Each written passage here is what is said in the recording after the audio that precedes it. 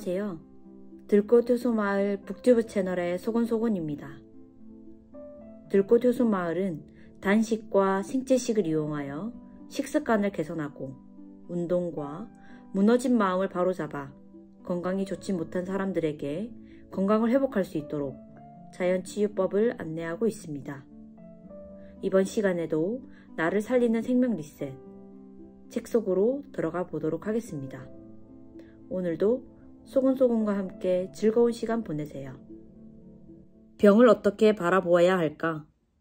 질병이나 건강에 대한 관점도 그렇습니다. 지금 한국의 경우 고혈압으로 등록되어 약을 쓰는 환자가 1100만 명, 당뇨와 고지혈 환자가 각각 5, 600만 명, 디스크나 척추 협탁증으로 등록된 환자는 1250만 명이라고 합니다. 그런데 어떤 의사들은 고혈압, 당뇨, 디스크, 암은 병이 아니다라고 주장합니다.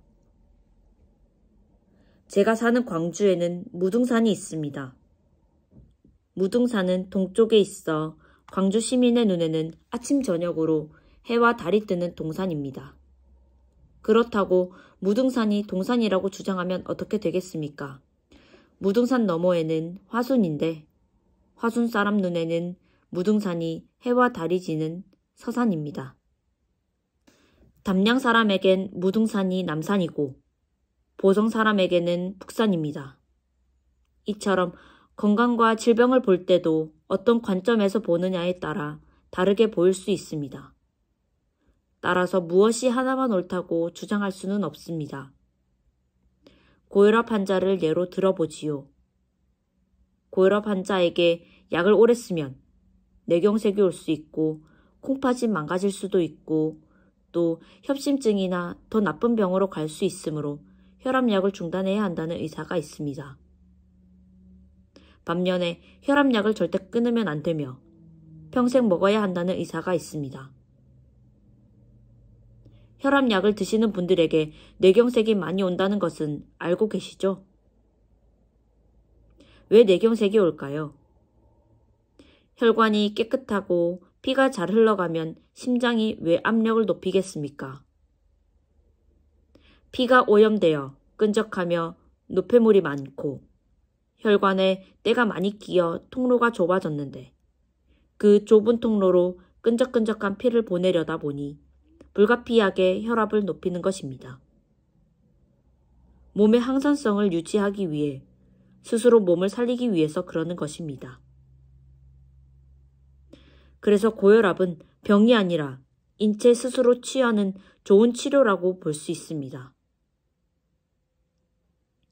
그런데 혈압약을 먹게 되면 몸이 스스로 치료하는 걸 방해하는 꼴이 됩니다. 피를 머리 끝까지 계속 돌려야 하는데 압력이 떨어져 뇌혈관의 피돌림이 잘 안 됩니다. 그러면 피찌꺼기가 쌓여 뇌경색이 옵니다. 그런데 많은 의사는 왜 계속 혈압약을 먹으라고 할까요? 이 의사들은 좋은 의도로 혈압약을 줍니다. 심장이 죽은 듯 압력을 높여 과로하고 있는데 이를 방치하면 심장이 망가지거나 높은 압력이 혈관벽을 때려서 동맥경화를 악화시키거나 높은 압력을 이기지 못해 뇌혈관이 파열되어 뇌출혈이 오는 것을 예방할 목적으로 혈압약을 먹게 하는 겁니다. 하지만 혈압약을 반대하는 의사들은 혈압약으로 뇌경색이 오게 되고 말초 혈관의 피돌림을 방해하고 신장이 나빠지고 전립선 비대, 만성 통증 같은 여러 가지 병이 오게 되므로 혈압약을 주의하라는 것입니다. 고혈압 근본 원인은 피의 오염입니다.